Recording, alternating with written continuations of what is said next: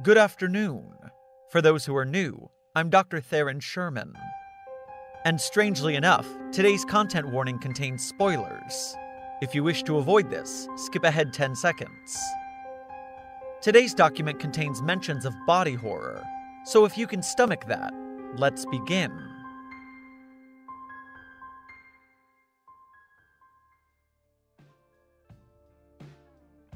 Item number SCP 5798. Level 2 Restricted. Containment Class Safe. Disruption Class Dark. Risk Class Notice. Assigned Site 103. Site Director O. Michael Saint. Research Head S. Haddo. Assigned Task Force Not applicable. Special Containment Procedures. The building containing SCP 5798 has been purchased by the Foundation and shuttered from public access. Two Foundation Guard personnel are to be stationed on site for the purposes of deterring trespassing. Description SCP 5798 is an entity of indeterminate length residing in the plumbing system of a YMCA building in Florida. Subterranean imaging techniques have revealed that SCP 5798's length takes up the entirety of the building's plumbing system. The entity's physical appearance is that of a mass of flesh, terminating in several tentacle like appendages. SCP 5798's epidermal coloration is entirely transparent, and as a result, veins, muscle tissue, and small blonde hairs have been observed as part of the entity. SCP 5798 is mostly dormant and has only been observed to surface for brief periods of time through a small drainage gate located in the shower of a men's locker room, fitting its appendages through the slots on the grate. The entity is capable of extending up to 1.2 meters from the drain. SCP 5798 is sapient and is capable of communicating coherently in English. See Addendum 5798 1. Addendum 5798 1 Incident Log.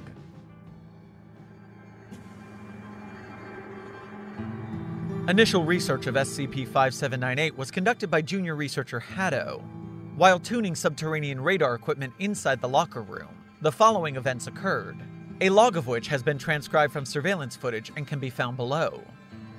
Begin log. Researcher Haddo sits in front of the shower, taking notes. A voice is heard, coming from the drain.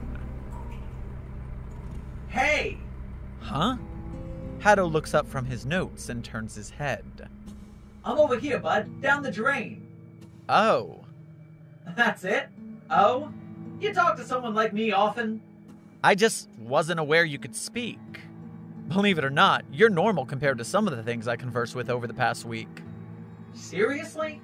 You work at a 7 Eleven or something? Practically.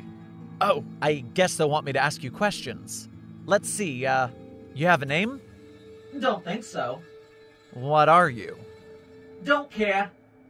Haddo gestures. Huh. How'd you get into, uh, your situation? Don't know. God. Sorry, I'm just. I can't give answers like that. They want information. Shit. Well, I'm really sorry, man. I genuinely can't answer those questions. Who's they? My bosses. Look, even if you have to make something up, I won't know. I just need research credits. Please. Haddo brings his left hand to his temple and begins massaging it. I wasn't trying to be rude or anything. I just don't think about those things, you know? I apologize. It's. it's fine. I'm fine. You sure about that, man? I promise. You can talk to me about it. What? I mean, Christ, I'm talking to a fucking drain monster. This is ridiculous. There's no need to be prejudiced. I can speak and think just as well as you can. I'm willing to lend an ear, if you think it would help. Just pretend I'm not here and speak your mind. No filter. You sure? I mean, I'd sound unhinged. I'm already talking to a drain. A drain creature, I know. Just give it a shot, dude. I won't judge. Uh, fine. No. God, no. I'm not alright. I just. This is how the healing happens. I'm overworked. I'm exhausted. I'm lonely. I'm still hundreds of thousands of dollars in debt, and you'd think a trillion dollar organization would take care of that, but they don't. I do pointless research all day in hopes of maybe, maybe getting a paid vacation one year, and a complimentary plaque in the site break room or some shit. Sure, if I'm lucky enough to be so useless to the Foundation that they actually let me go, I'll be able to retire at 60, where I can own a nice little compensation house for me to fuck off and die in peace. That's if I don't lose my life talking to a fucking drain snake or end up in a wheelchair because I looked at a book the wrong way on a Tuesday or some other contrived bullshit.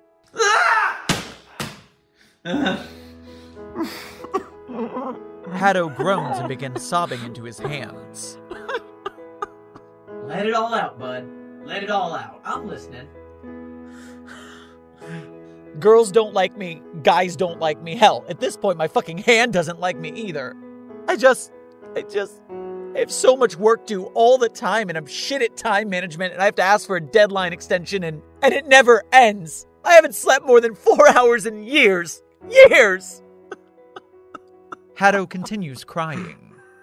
Jeez, I, uh, that's awful, dude. I never realized you guys up there had it so bad. Only if you're poor. I don't mean to make you jealous, but I never had to deal with anything like that. What would you know about anything? You're a fucking drain snake. Hey, I'm pretty cultured. Like, I got it all down here. I can sleep as much as I want, watch movies all day. God, wait, really? Totally, dude. Movies, TV shows, games, YouTube, whatever. Well, now I'm interested. How do you do all that? No clue. I just think about it really hard and it happens. I've always been able to do it. I basically spend all my free time online. So you you have internet, you sleep as much as you want, and you well, what else do you do? How do you occupy yourself all day? Like I said, podcasts, message boards, Warcraft. Speaking of which, I do have a raid coming up in 20, so I may have to step away for a bit if that's good with you. Isn't that a paid game? Bitcoin. You ever try crypto, dude? It's the future, I'm telling you. Man, it sounds great down there. Life's just better. You'd probably enjoy it. And I take it you're not much of a socialite anyways. But the only downside about living down here is that it gets a little lonely. Can't you just talk to people online? Yeah, but it's not the same. Why do you think I started talking to you? Good point. Been getting into writing recently. Helps with the introspection. You write? Whenever I want, for as long as I want. That's all I've ever wanted to do. Down here, you'd be able to write all day. You're so right.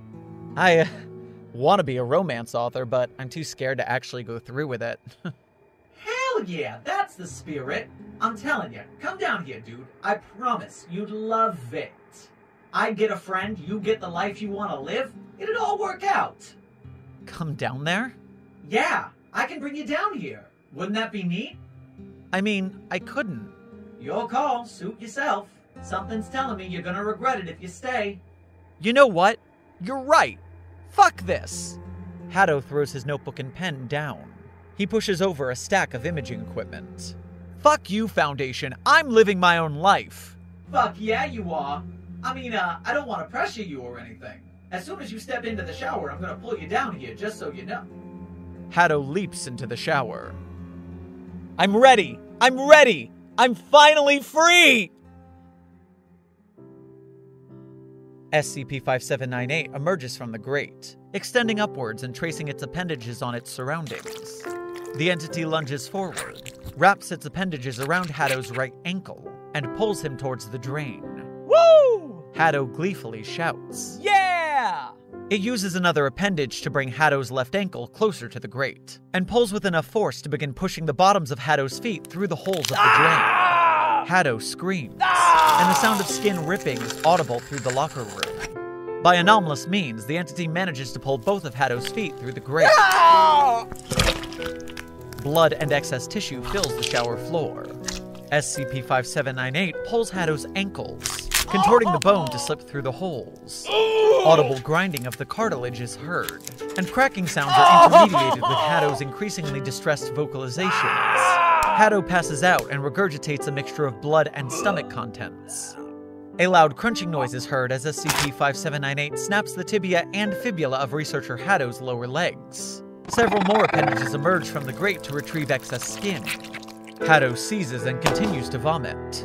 In his thrashing, he has broken several teeth, and his nose appears to be displaced. Haddo appears to regain consciousness and vocalizes unintelligibly. As the entity attempts to squeeze Haddo's crotch through the grate, another snapping sound, assumed to be Haddo's pelvic bone, is heard. Haddo goes limp as SCP-5798 squeezes his torso and stomach through the grate. A slurry of entrails and viscera is expelled from Haddo's mouth, which increases in concentration as more of his body is forced through the drain. Haddo's ribcage snaps, and his upper torso sinks into the floor. The last of Haddo's body, the head, is pulled through the drain. Excess brain matter, hair, ocular muscles, and teeth surround the immediate area of the grate. The slurry of body fluids and entrails stains the shower. End log. Upon further interaction with SCP 5798, the entity used researcher Haddo's voice to communicate. No relevant or new information has been gained from this research, and the entity claims to have no recollection of researcher Haddo.